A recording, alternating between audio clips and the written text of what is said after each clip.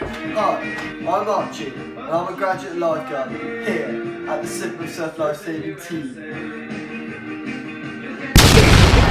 Hi guys, when applying to become a lifeboat crew member, you need to fill out a job application and send in your CV. We will provide you with a job description and a person's specification, and you can decide whether volunteering for us is right for you. To join the lifeboat crew, you need skills.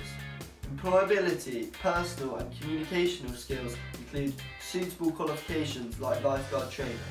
Secondly, personal attributes like being patient, hardworking, cooperative, and the ability to make good decisions.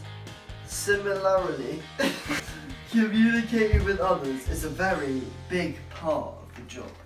Yo, physical and technological resources are a key part of keeping our organisation effective at the RNLI. Physical resources include uniforms, lifeboats, rescue equipment and office essentials that we use in our day-to-day -day business activities. Technological resources include computers at the lifeboat station, uh, walkie-talkies and trackers on our lifeboats that make our jobs on the lifeboat crew as simple and efficient as possible.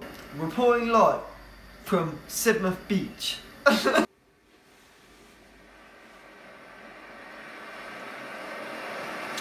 oh, hi there.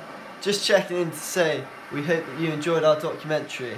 And stay safe out there, broskies. Hey, pretty girl, I'm you. The way you do the things you do reminds me of Let's go on. Well, I'll catch you in a bit.